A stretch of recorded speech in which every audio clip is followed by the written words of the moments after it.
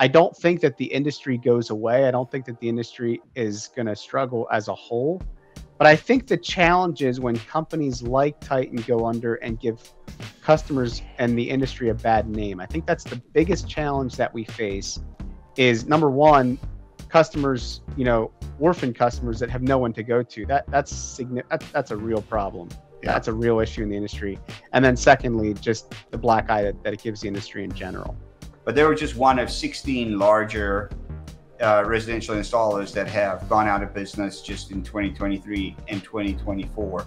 What I would be concerned with, Warren, the most is companies that are going out there and in desperation trying to get customers to sign by you know whatever whatever way they can even if it's not good for the customer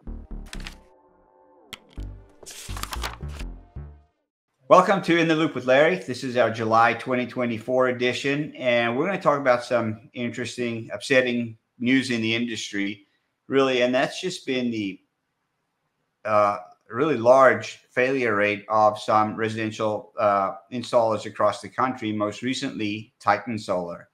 Um, Larry, I know in this article, and we've got a link to it here if you if you'd like to, and we'll put it in the description below as well. Read the article, but in Time Magazine, they came out and they talked about Titan so- Solar was looking for a buyer, couldn't find one, ended up shutting its doors in June, but they were just one of 16 larger uh, residential installers that have gone out of business just in 2023 and 2024.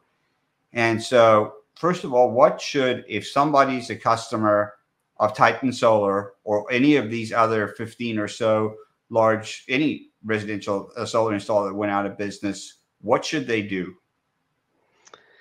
Yeah, well, first of all, Warren, I mean, that, that really stinks because a lot of the value of a solar installation is in the long-term relationship with the installer.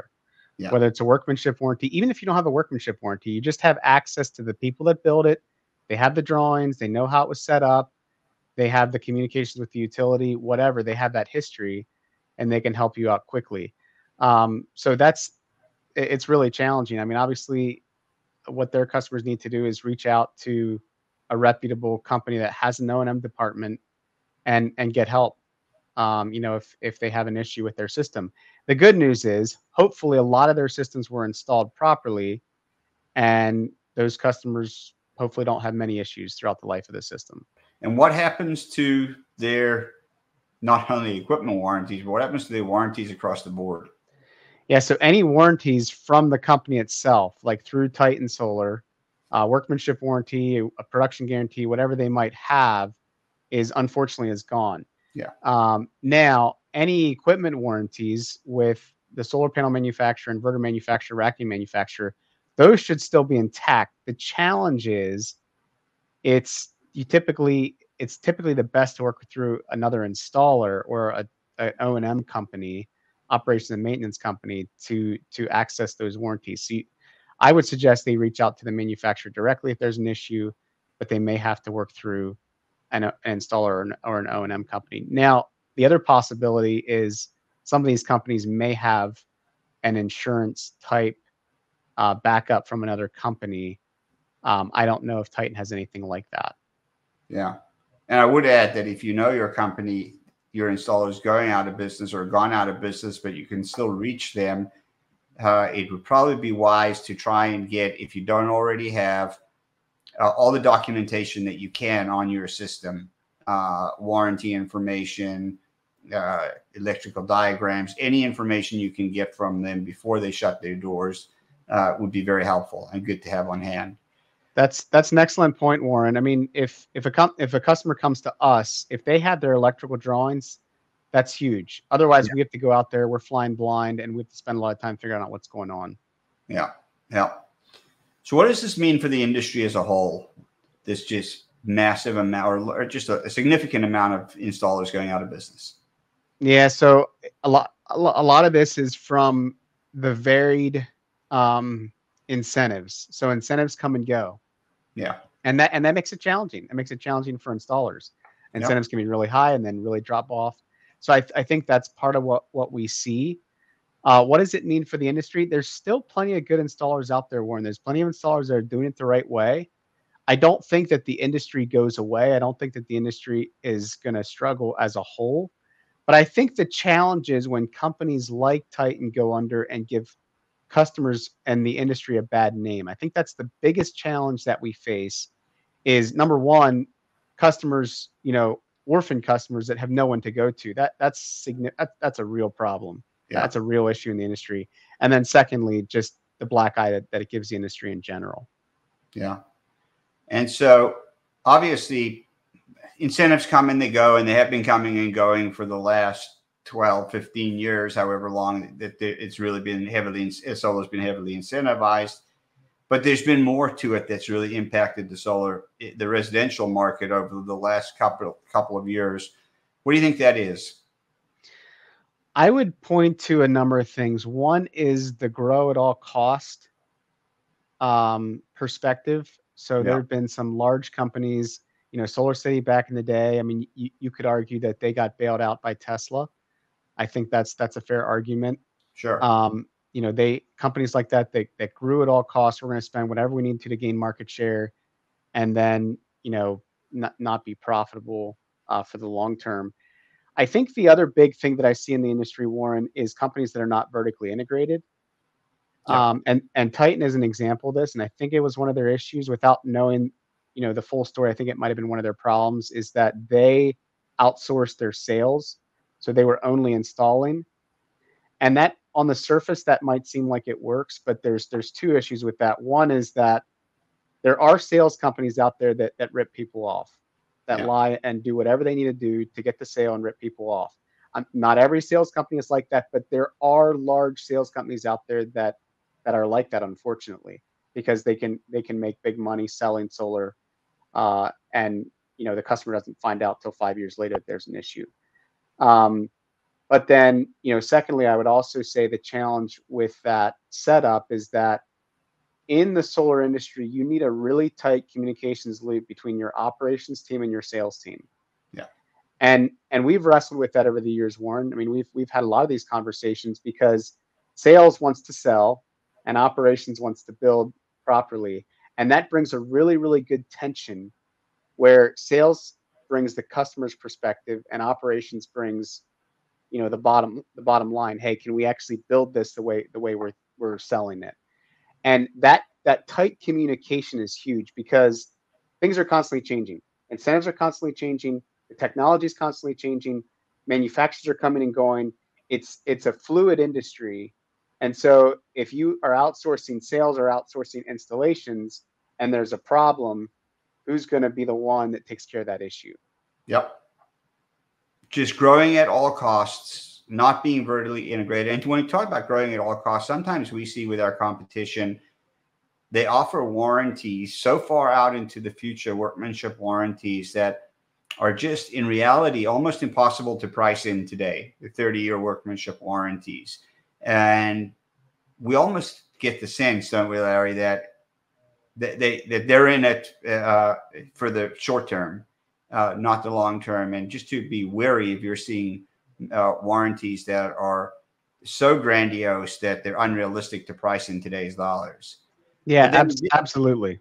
Yeah, but then in addition to growing, not being vertically integrated, growing at all costs, do you think interest rates uh, have had a, a significant impact on the residential market? Absolutely, yeah, yeah. So we saw an increase in electric rates, yeah. which drove up the demand for residential solar like crazy. I mean, it makes sense. And then that was followed by an interest rate increase. And because so many projects are being loaned, uh, are being purchased through through loans and leases and that type of thing, when the cost of money went up, it really made it hard for, for projects to pencil. Yeah. So we saw market saturation, and now we're seeing a little bit of consolidation as a result too. Yeah, and I think I I, I think it's it's the right progression you know, the, the market's not big enough to handle on anyone. What I would be concerned with, Warren, the most is companies that are going out there and in desperation trying to get customers to sign by, you know, whatever whatever way they can, even if it's not good for the customer.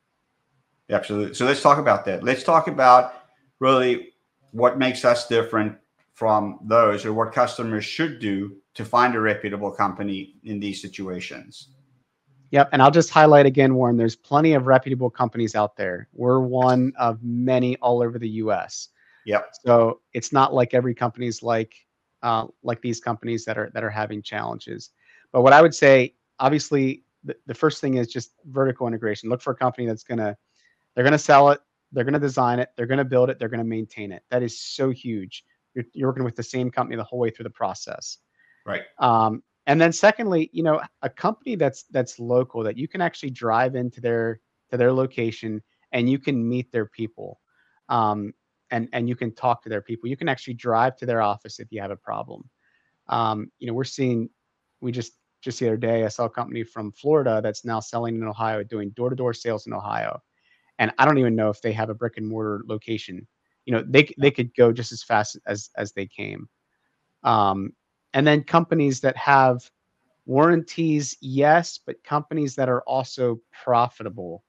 And it's hard to know that from just from um, observing a company because most companies are private and so they're not sharing their financials. But things to watch out for is things like, you know, are are they, you know, do they have the tools that they need?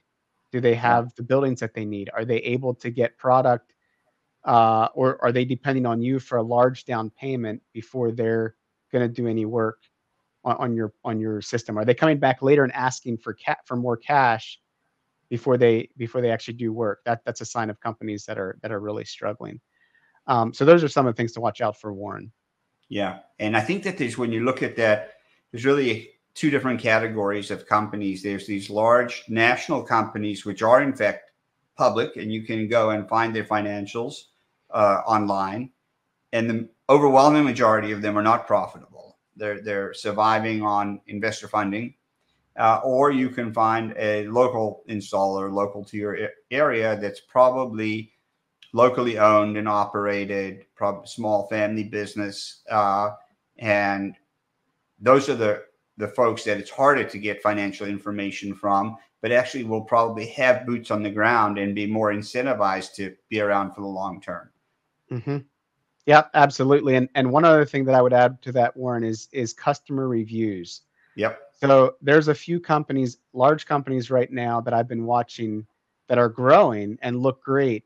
But if you look at their customer reviews, I can almost predict that in two or three years from now, they're, they're going to be in the same place that a lot of a lot of these other companies are because customers just don't put up with that stuff over the long term. Yeah, that's an excellent point. And so when it comes to getting information from their customers, it's a great source to get an idea of what the experience would be like working with that company check out their Google reviews, look at their Facebook reviews, but also ask them for contact information from some of their customers that are looking for that do similar work in the same area that you do and talk to some of their customers and find out about what their experience was like working with that company. Super. Well, that's very helpful, Larry. Thank you very much. Hopefully, we we see this slow down or come to an end. Uh, the uh, closing of, of residential solar installers. Uh, but if you are looking for, if you have a system and you uh, what that is, has been installed by an installer that is no longer in business, and you'd like it to be uh, looked at or monitored by us, reach out to us. We'd be glad to help you with that. Uh, hopefully, that's not the case. Um, but if that is the case, hopefully you found this valuable and uh, you know what to do in terms of making sure you have the information on your system, um, and and finding somebody to help support you in the future. And also, if you're looking for a system, you know what to look for in a good, reputable solar company. So, Larry, that's very helpful. Appreciate it. Thank you very much. Thank you, Warren.